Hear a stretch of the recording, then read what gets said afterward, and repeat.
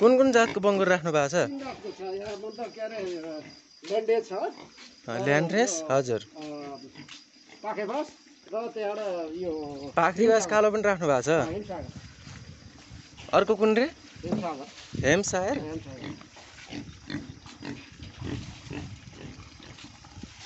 यो हेर्नु सबै यो के अरे यो मपाल्ने हो। अब यसमा सेलेक्ट गरेर यो मपाल्ने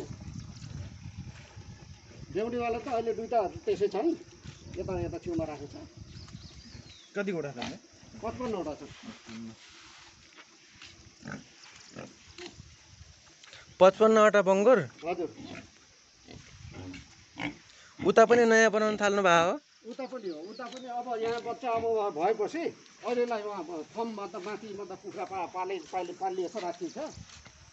अब तल चाहिँ त्यो खोर बनाएर फेरि अब जति जति नै हुन्छ अब काट्ने भने यहाँ माउ सुँगुर गरे यो भाले हो?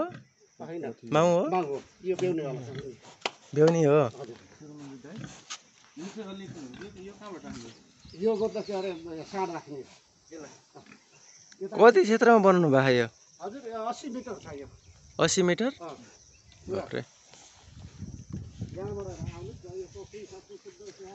माछा पालन कुखुरा। एकीकृत फर्म।